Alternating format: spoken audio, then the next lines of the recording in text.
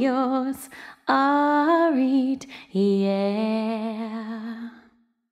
One happy birthday dot com.